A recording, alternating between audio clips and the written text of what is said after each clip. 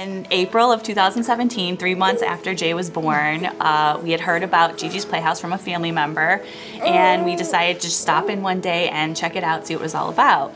Uh, Allison was here, she gave us a tour and told us about all the free programs, everything that was offered, and we were so excited to move back.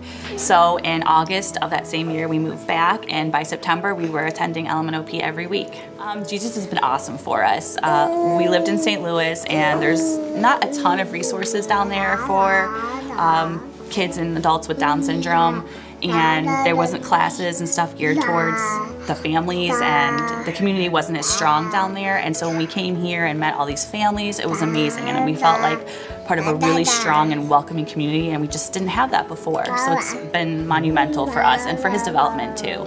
Our first year back um, we've been involved with GiGi's for a little while classes and um, we heard about the 5k and it's really a great opportunity to support GiGi's and give back to uh, you know a place that really has given us a lot of support. So it's a good opportunity for that and also bring our families together for a nice event. Um, I would say it's just, I mean, it's a great day. You know, you get to meet other families. There's kids of all ages. There's adults. Um, you get out in the sun. You get some exercise, and you get to support a really great organization that has done a lot for our community in within Down syndrome, but also within the country. Just having all these resources.